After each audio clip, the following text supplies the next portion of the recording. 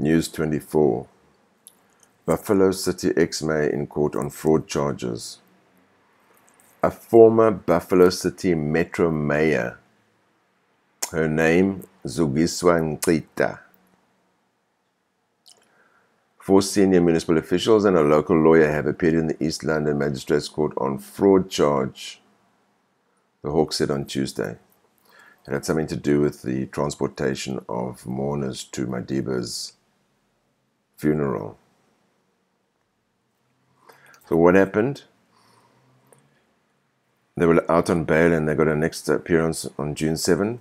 The ANC removed Ncitha from her post in June 2015 and promptly sent it to Parliament two weeks later.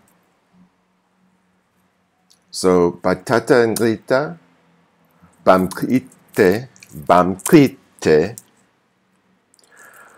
bafosa ukungena ubathuma ukungena eparlamente they're taking Ncitha from a scenario where she was apparently involved in fraud and they put her into parliament with the rest of some of the people who are fraudsters there as we know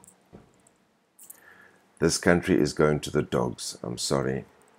Asifunu ukuphila kanje. Sifunu ukuphumelela. Please. Please everybody. Sifunu ukuphumelela.